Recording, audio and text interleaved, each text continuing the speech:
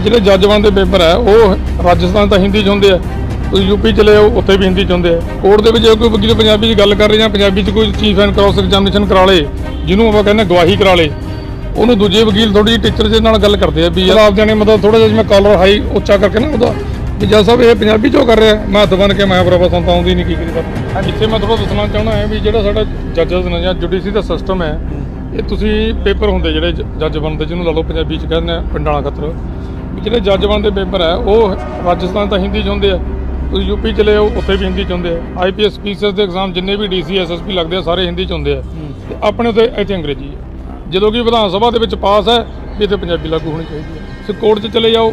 Court ਦੇ ਵਿੱਚ ਜੇ ਕੋਈ ਵਕੀਲ ਪੰਜਾਬੀ 'ਚ ਗੱਲ ਕਰ ਰਿਹਾ ਜਾਂ ਪੰਜਾਬੀ 'ਚ ਕੋਈ ਚੀਫ ਐਂਡ ਕ੍ਰਾਸ ਐਗਜ਼ਾਮੀਨੇਸ਼ਨ ਕਰਾ ਲੇ, ਜਿਹਨੂੰ ਆਪਾਂ ਕਹਿੰਦੇ ਗਵਾਹੀ ਕਰਾ ਲੇ ਉਹਨੂੰ ਦੂਜੇ ਵਕੀਲ ਥੋੜੀ ਜਿਹੀ ਟੀਚਰ ਦੇ ਨਾਲ ਗੱਲ ਕਰਦੇ ਆ ਵੀ ਯਾਰ ਤੂੰ ਯਾਰ ਪੰਜਾਬੀ 'ਚ ਕਰਾਈ ਜਾਂਦਾ। ਅੱਛਾ ਮਾਂ ਬੋਲੀ ਨੂੰ ਹਾਂ, ਮਾਂ ਬੋਲੀ ਯਾਨੀ ਸਾਡੀ ਮਾਨਸਿਕਤਾ ਵਕੀਲ ਸਾਹਿਬ ਇਹ ਜੀ ਤੇ ਇੱਕ ਥਾਣੇਦਾਰ ਬਲਵਿੰਦਰ ਸਿੰਘ ਆਏ ਸੀ। ਬਲਵਿੰਦਰ ਸਿੰਘ ਥਾਣੇਦਾਰ ਦਾ ਮਤਲਬ ਉਹਨੇ ਜ਼ਿਲ੍ਹਾ ਕਰ ਰਿਹਾ ਸੀਗਾ। ਤੇ ਚਲੋ ਮੈਂ ਪੰਜਾਬੀ ਜ਼ਿਲ੍ਹਾ ਕਰ ਰਿਹਾ ਸੀਗਾ। ਤੇ ਇੱਕ ਵਕੀਲ ਹੈ ਇੱਥੇ 에어ਪੋਰਟ ਚ ਰਿਟਾਇਰ ਹੋ ਗਿਆ। ਉਹ ਸਪੈਸ਼ਲ ਵਿੱਚ ਦੀ ਆ ਗਿਆ ਟੋਕ ਕੇ ਗਿਆ ਨਾ ਤਾਂ ਮੈਂ ਨਹੀਂ ਲੈਂਦਾ। ਤੇ ਜੱਜ ਦੇ ਸਾਹਮਣੇ ਵੀ ਮਤਲਬ ਆਪ ਜਾਣੇ ਮਤਲਬ ਥੋੜਾ ਜਿਹਾ ਜਿਵੇਂ ਕਾਲਰ ਹਾਈ ਉੱਚਾ ਕਰਕੇ ਨਾ ਉਹਦਾ ਵੀ ਜੱਜ ਸਾਹਿਬ ਇਹ ਪੰਜਾਬੀ ਚੋਂ ਕਰ ਰਿਹਾ? ਮੈਂ ਹੱਥ ਬੰਨ ਕੇ ਮੈਂ ਬਰਾਬਰ ਸਾਨੂੰ ਤਾਂ ਆਉਂਦੀ ਨਹੀਂ ਕੀ ਕਰੀਦਾ ਪੰਜਾਬੀ ਚੋਂ ਕੀ ਵਕੀਲ ਸਾਹਿਬ ਇੱਕ ਹੋਰ ਜਾਣਕਾਰੀ ਦਿਓ ਮੈਡੀ ਜੀ। ਇਹ ਵੀ ਪੰਜਾਬੀ ਹੋਣਾ ਚਾਹੀਦਾ ਜਿਹੜਾ ਜਿਵੇਂ ਜਿਵੇਂ ਯੂਪੀ ਦੇ ਵਿੱਚ ਜੱਜਮੈਂਟ ਲਿਖਦੇ ਆ ਜੱਜ ਹਾਂਜੀ। ਉਹ ਹਿੰਦੀ 'ਚ ਲਿਖਦੇ ਆ? ਹਿੰਦੀ ਚ ਲਿਖਦੇ ਜੀ ਬਿਲਕੁਲ। ਜਾਂ ਹਿਮਾਚਲ 'ਚ ਲਿਖਦੇ ਜਾਂ ਰਾਜਸਥਾਨ 'ਚ ਲਿਖਦੇ ਹਿੰਦੀ ਚ ਲਿਖਦੇ ਆ ਬਿਲਕੁਲ ਹਿੰਦੀ ਚ ਲਿਖਦੇ ਆ। ਪੇਪਰ ਵੀ ਹਿੰਦੀ ਚ ਹੋਣਗੇ ਕਚਹਿਰੀ ਦਾ ਕੰਮ ਵੀ ਸਾਰਾ ਹਿੰਦੀ ਚ ਹੋਊਗਾ। ਤੇ ਜੱਜਮੈਂਟ ਵੀ ਹੋਊਗੀ। ਇਹ ਨਾ ਇੱਥੇ ਹਾਂ ਇੱਥੇ ਅੰਗਰੇਜ਼ੀ ਲਿਖਦੇ ਆ, ਜਦੋਂ ਕਿ ਵਿਧਾਨ ਸਭਾ ਚ ਪਾਸ ਹੈ ਵੀ ਇਹ ਪੰਜਾਬੀ ਨਾਲ ਲਾਗੂ ਕਰਨੀ ਹੈ। ਜੇ ਅਸੀਂ ਅੰਗਰੇਜ਼ੀ ਚ ਵੀ ਕਰਨਾ ਇੱਕ ਹਿੰਦੀ ਚ ਲੱਗਿਆ ਹੁੰਦਾ। ਹਾਂਜੀ। ਤੇ ਆਪਣੇ ਆਪਣੇ ਅੰਗਰੇਜ਼ੀ ਅੰਗਰੇਜ਼ੀ ਲੱਗਿਆ। ਹਾਲਾਂਕਿ ਵਿਧਾਨ ਸਭਾ ਚ ਪਾਸ ਹੈ ਵੀ ਇਹ ਇੱਕ ਮਤਾ ਪਿਆ ਹੋਇਆਗਾ ਵੀ ਇਹ ਪੰਜਾਬੀ ਲਾਗੂ ਹੋਣੀ ਚਾਹੀਦੀ ਹੈ। ਵੀ ਇੱਕ ਉਥਾਲਾ ਜਿਹੜਾ ਹੈ ਇੱਕ ਕਾਪੀ ਪੰਜਾਬੀ ਦੀ ਰਹੂ ਇੱਕ ਅੰਗਰੇਜ਼ੀ ਦੀ।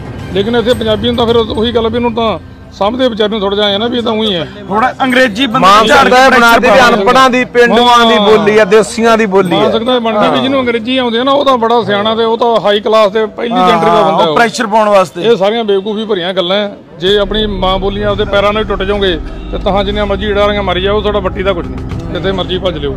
ਲੱਖੇ ਸਿਧਾਣੇ ਨਾਲ ਖੜ ਇਸ ਵਕੀਲ ਨੇ ਆਪਣੇ ਦਿਲ ਦੀਆਂ ਤੇ ਪੰਜਾਬ ਦੇ ਹਿੱਤ ਦੀਆਂ ਉਹ ਗੱਲਾਂ ਸਾਂਝੀਆਂ ਕੀਤੀਆਂ ਨੇ, ਜਿਸ ਤੋਂ ਪੰਜਾਬ ਦੀ ਆਮ ਜਨਤਾ ਜਾਣੂ ਨਹੀਂ ਸੀ। ਤੇ ਇਸ ਵਕੀਲ ਦਾ ਕਹਿਣਾ ਹੈ ਕਿ ਪੰਜਾਬ ਵਿੱਚ ਪੰਜਾਬੀ ਪਹਿਲ ਦੇ ਆਧਾਰ ਤੇ ਲਾਗੂ ਹੋਣੀ ਚਾਹੀਦੀ ਹੈ। ਤੇ ਤੁਸੀਂ ਇਸ ਵਕੀਲ ਦੇ ਵਿਚਾਰਾਂ ਨੂੰ ਕਿਵੇਂ ਦੇਖਦੇ ਹੋ, ਆਪਣੇ ਵਿਚਾਰ ਕਮੈਂਟ ਬਾਕਸ ਵਿੱਚ ਸਾਂਝੇ ਜ਼ਰੂਰ ਕਰਿਓ ਤੇ ਵੀਡੀਓ ਨੂੰ ਲਾਈਕ ਕਰਕੇ ਅੱਗੇ ਸ਼ੇਅਰ ਕਰ ਦਿਓ।